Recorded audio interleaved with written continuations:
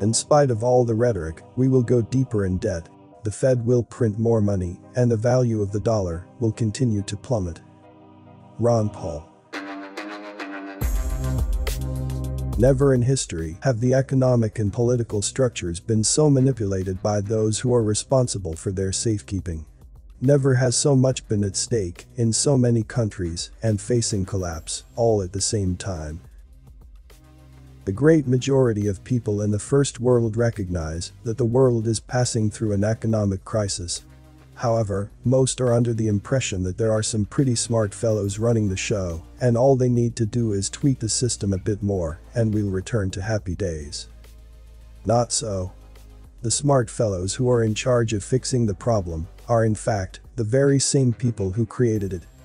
Understandably, this is a hard concept for most people to even consider, let alone accept, as the very idea that those in charge of the system might consciously collapse it seems preposterous. So, we might wish to back up a bit here and present a very brief history of the system itself in order to understand that the eventual collapse of the economic system was baked in the cake from the very beginning.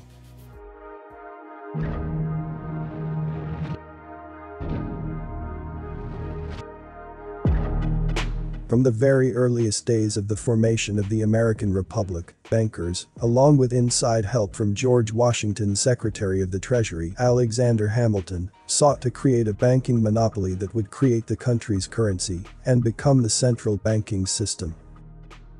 The first attempt at a central bank was a failure, and strong opponents, including Thomas Jefferson, prevented a second central bank for a time. Later, further attempts were made by bankers and their political cronies, and each central bank was either short-lived or defeated in its planning stages. Then, in 1913, the heads of the largest banks met clandestinely on Jekyll Island, Georgia, to make another try. Having recently lost yet another bid to create a central bank due to the public's understandable concern that the big bankers were already too powerful, a new spin was placed on the idea. This time, they decided to present the idea as a government body that would be decentralized and would have the responsibility of restricting the power of the banks. However, the new bill was in fact the same old bill, with a new title and some minor changes in wording. But this time, it would be presented by the new president, who was a liberal. The president, Woodrow Wilson, had in fact been handpicked by the banks the banks then scuttled their own Conservative Party's candidate, got the Democrat Wilson elected, then installed a Secretary of the Treasury, whose job it would be to ensure that the Federal Reserve was created. The bill was widely supported by the public, even though, in truth, it was not a federal agency, but a privately owned conglomerate controlled by the banks. Neither was it a reserve. It was never intended to store money, it was intended to give the biggest bankers control of the economy. They followed the central principle of Uber banker Mayer Rothschild. Let me issue and control a nation's money, and I care not who writes the laws. From the start, the new institution peddled itself as the protector of the people's interests, but it was quite the opposite. Its purpose from its inception was to control the economy and the government by controlling the issuance of the currency. In addition, it was to be a system of taxation. Typically, a population accepts a certain amount of direct taxation, but has its limits of tolerance. Yet, the bankers understood that a less direct method of taxation was infinitely more profitable and infinitely safer from criticism. Before I continue the video, please give a like if you'd learned something. And, don't forget to subscribe, and also, click the notification bell too, so you won't miss any update and watch to the end to avoid misunderstanding.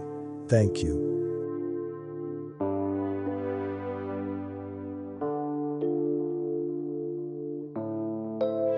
Inflation was not always the norm. At one time, prices were relatively static from one generation to the next. But the Federal Reserve touted the idea that controlled inflation was in fact necessary for a prosperous economy. Of course, the greater the debasement of the currency through inflation, the more the central bankers profited. But at some point, the currency would have lost virtually all its value, and it would be time for a reset. the currency would need to collapse and a new one created. And so, the Fed set about its 100-year program of continuous inflation. Although there have been periods of lower inflation and even deflation, the program stayed more or less on course, and now, its 100-year life has all but ended. The dollar has been devalued almost 100%. And so, we find ourselves at the day of reckoning.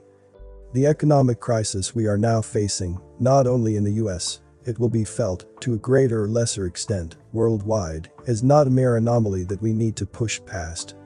It's a systemic crisis. It's been created by design, and the system must collapse.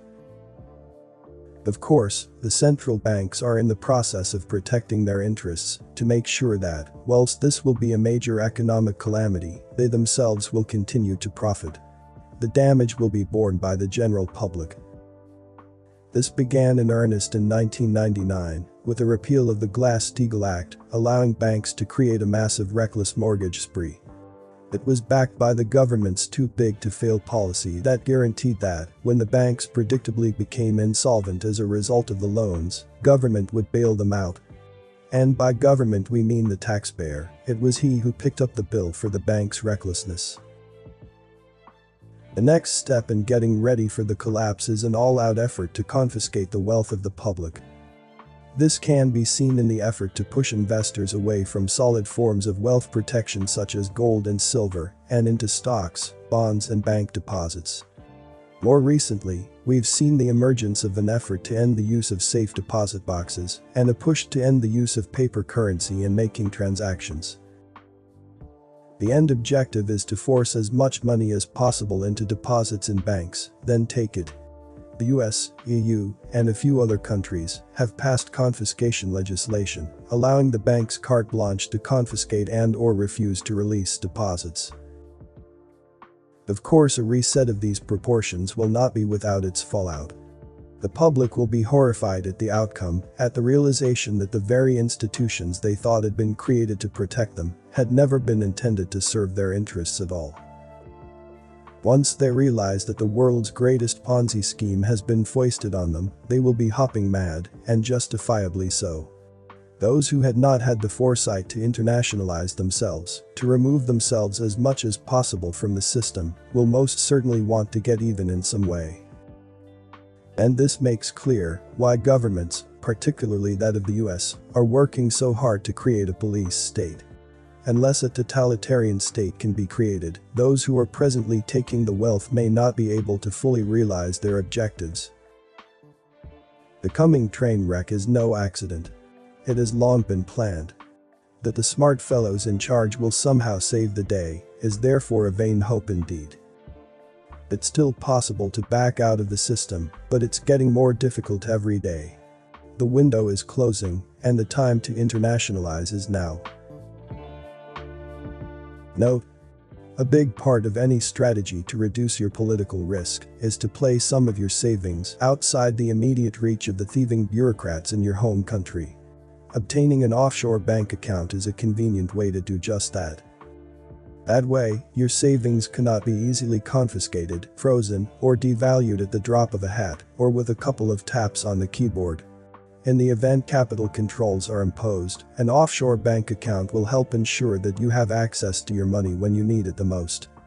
In short, your savings in an offshore bank will largely be safe from any madness in your home country. Despite what you may hear, offshore banking is completely legal and is not about tax evasion or other illegal activities. It's simply about legally diversifying your political risk by putting your money in sound, well-capitalized institutions where it's treated best. Comment below with more topic ideas for me to discuss. As a lot of care and hard work goes into this, likes and subscribe, let me know I'm doing a good job. All is appreciated greatly. You may not agree with everything from the content I post. Apply critical thinking and use discernment to come to your own conclusions regarding the content. Thanks for watching this video. This Everything Inside Me channel, see you on the next video. Stay safe and healthy.